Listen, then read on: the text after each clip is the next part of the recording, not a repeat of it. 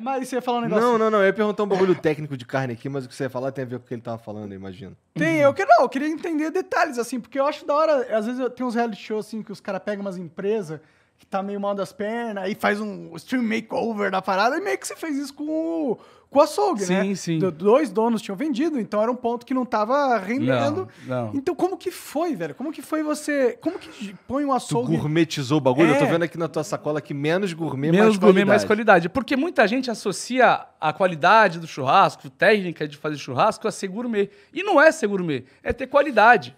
Não é gourmet. Gourmetização é outra coisa, é um movimento diferente. O que a gente está querendo fazer é ter uma carne de qualidade para vender para o nosso consumidor. E eu explico como fazer isso nas redes sociais, etc. Porque eu quero que o cara que compra a minha carne, ou que compra uma carne de qualidade em outro lugar, porque foi impactado, influenciado por mim, que ele tenha a mesma experiência que eu tenho na hora de fazer minha carne. Então é por isso que eu passo as técnicas e por isso que eu busco a carne de qualidade. Não é para gourmetizar. Porque o churrasco não é para ser gourmet. O churrasco é um momento de distração, de diversão, de É. celebração.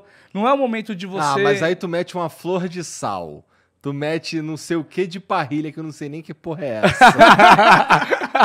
aí tu gourmetizou um Aí, pouquinho. flor de sal pô. é isso aqui, ó. Segura aí.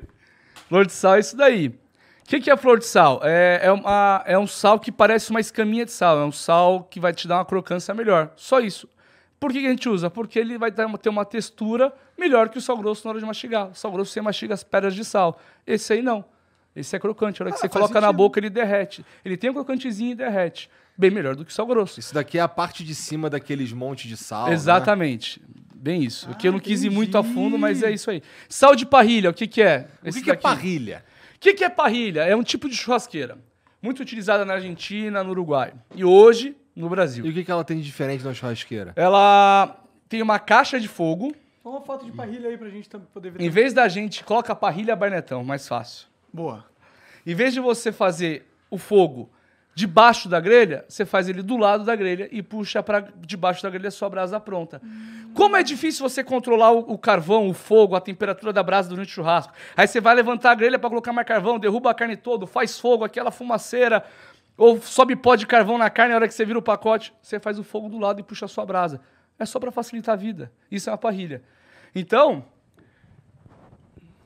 em vez de você ficar lutando para colocar carvão, para deixar a brasa boa por aqui, você coloca o fogo aqui do lado, ele pega fogo, cai a brasa e você puxa para de baixo. Entendi. Muito mais fácil de você operar. mas Muito mas mais isso, fácil. daí, isso daí é uma, uma engenhoca que tu que inventou, né? Não, isso daí é. Essa daí é a minha parrilha de linha, né? Que, que vende no meu nome pela Largria, um parceiro nosso.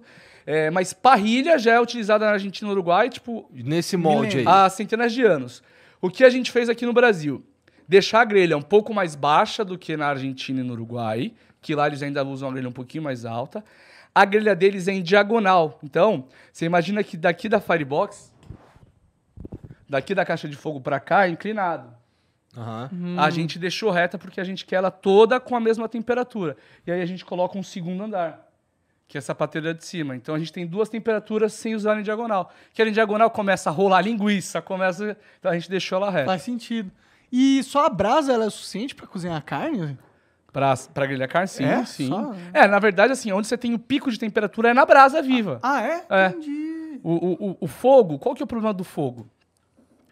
O fogo não dá gosto ruim pra carne, mas o fogo tem uma pontinha ali. Aham. Aquela pontinha é rica em dióxido de carbono. Aquela pontinha do fogo, a gente chama de língua de vaca, é o que dá o gosto amargo pra carne. Caralho, tu é super nerd, Sim. cara. que maneiro, cara. Eu nunca tinha conversado com um cara nerdola do De churrasco! É, maneiro. Vocês são nerds de outros assuntos, eu sou nerd de churrasco. Tá certo? né? Da hora demais. O Misa é nerd de tecnologia, o Júnior é, é nerd de carro, eu, a minha nerdice é o meu trabalho. Que Não, eu, mas é legal ter os bagulho nerds que eu amo. É, E aí tem diferença qual carvão. Assim, porque eu já vi uns caras falando, não, carvão de macieira. É. Carvão de não sei o que. Meu irmão, carvão é carvão. Então, na verdade, não é carvão de macieira, é carvão de é, lenha de macieira. É. Legal. É, lenha é muito utilizado fora do Brasil. Argentina, Uruguai, Pra fazer churrasco nos também. Estados Unidos, etc. Por quê? Lá a lenha é mais barata que o carvão. Aqui no Brasil, carvão é mais barato que a lenha frutífera. Então, por isso que aqui a gente tem a cultura de usar o carvão de eucalipto ou um carvão é, genérico para fazer churrasco. Se for para usar carvão, é melhor de eucalipto. Ah, Por quê? porque ele tem menos resíduo ou carvão de eucalipto, ele dá um gosto um pouco melhor, ele faz menos fumaça tóxica do que os outros tipos de carvão Entendi. que às vezes são misturados. Porque o carvão, o carvão sabor. que não é o de eucalipto, o que, que ele é? Carvão do que tiver. Carvão de cerca, de porta, do, do que tiver. Você não sabe se teve tratamento, Pode se não crer. teve. Ah, o de eucalipto é um carvãozinho melhor. Já quando você vai usar lenha, a lenha de eucalipto não presta. Ah. Que a lenha de eucalipto, quando você queima ela, sol- solta uma toxina. Por isso que o carvão de eucalipto é bom, que já soltou. A lenha de carvão, a lenha de eucalipto não presta. Aí você usa uma lenha frutífera. Macieira, mexeira, goiabeira, e por aí vai. No Brasil, a, a lenha é mais usada como, tem, como um pequeno agregador. Ou seja, eu geralmente faço com carvão e boto um pedacinho de lenha ali para dar um sabor. Entendi. E dá Lá- sabor mesmo? a lenha? Dá, dá. Entendi. Agrega sabor. Já fora do Brasil é mais utilizada a lenha porque aí é questão de custo-benefício. A gente usa o que condiz com a nossa realidade, eles usam o que condizem com a realidade O deles. que, que você prefere? Mas agora tem até carvão branco, velho. Sério. Carvão branco, branco, branco, branco. Vocês não suja a mão pra pegar. Aí, Interessante. aí já, então. Aí eu já falo que tá gourmet- gourmetizando a parada.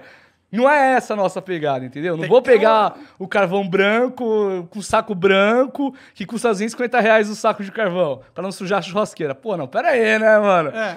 Carvão é preto, suja a mão de preto, faz a francesinha de churrasqueira.